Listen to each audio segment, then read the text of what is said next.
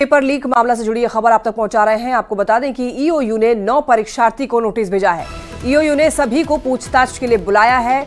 नौ परीक्षार्थियों को नोटिस भेजकर उनको पूछताछ के लिए बुलाया गया है ईओयू की तरफ़ से। अभिभावकों के साथ भी पूछताछ की जाएगी। आपको बता दें कि ईओयू कार्यालय बुलाया गया इन सभी लोगों को और सभी नीट परीक्षार्थी बिहार के अलग अलग जिलों के हैं। अनुसंधान के दौरान पुलिस की अब तक की छानबीन। सॉल्वर गिरोह के पास तेरह परीक्षार्थियों के रोड कोड मिले थे। चार को पुलिस ने पेपर लीक के समय ही गिरफ़्तार कर लिया था और बाकी जो नौ परीक्षार्थी बचे थे और उनके बारे में जानकारी के लिए ईओयू ने एनटीए को एक पत्र भी लिखा था। एनटीए ने अपने जवाब में परीक्षार्थियों का प्रवेश पत्र भी भेजा था। ईओयू को परीक्षार्थी के मोबाइल नंबर और पते की जानकारी मिली और इसी पते पर नोटिस भेजकर परीक्षार्थियों को पूछताछ के लिए बुलाया गया है। परीक्षार्थियों से सॉल्वर गिरोह से जुड़ाव के बारे में सवाल किया जाएगा। पेपर लीक मामले में पुलिस ने तेरह आरोपियों को गिरफ़्तार अब तक कर लिया है।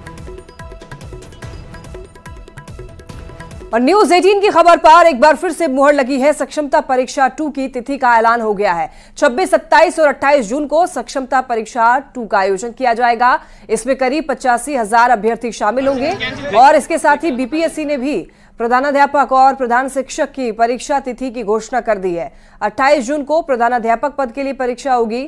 दोपहर 12 बजे से दोपहर ढाई बजे तक पटना और मुजफ्फरपुर में परीक्षा ली जाएगी। डेढ़ सौ अंक की परीक्षा में नेगेटिव मार्किंग का प्रावधान नहीं रखा गया है। वहीं उनतीस जून को प्रधान शिक्षक पद के लिए परीक्षा होगी। बिहार के तेरह जिलों में परीक्षा का आयोजन किया जाएगा।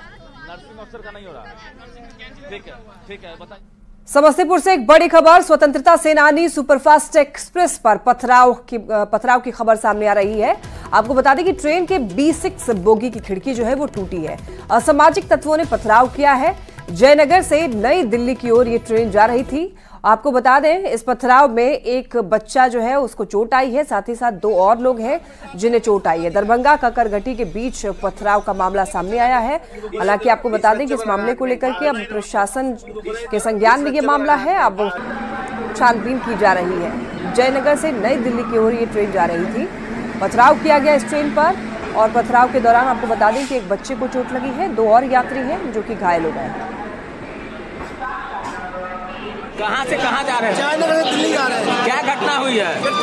पत्थर मारा शीशे के ऊपर। सीट पर बैठे मेरे बच्चे उसमें आग में शीशा लगा है। शीशा टूट आगे गया हुआ है। कोई सुविधा नहीं है। अभी आया है। क्या बोल रहे मेडिकल टीम वाले? बोले यहाँ बच्चे उतारो यहाँ हॉस्पिटल ले चलो। क्या दिक्कत क्या हो रहा है आपको? है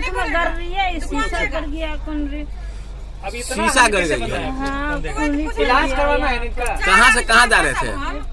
दिल्ली जा रही है जयनगर से गाड़ी पकड़े दिल्ली जा रही है? दिल्ली जा रहे थे। हाँ।